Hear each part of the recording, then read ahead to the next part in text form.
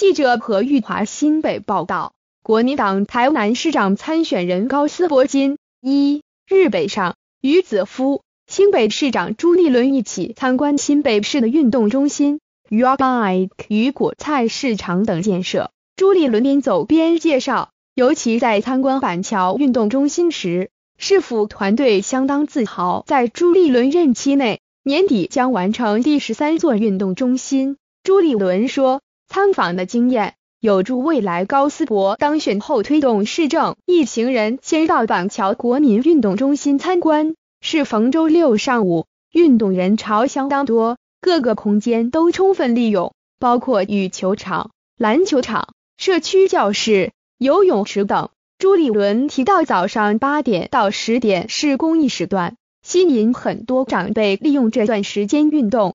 还有许多全家一起来运动的民众。随后，两人在运动中心外租借 U bike，一行人骑单车前往约一公里外的板桥果菜市场。朱立伦沿途介绍，抵达果菜市场后，听取介绍简报，参观冷冻设施、有机蔬菜拍卖等。高思博说，新北市在八年内即将完成第十三座运动中心，台南只有一所，且还在盖。台南有 bike，但不若 U bike 普及。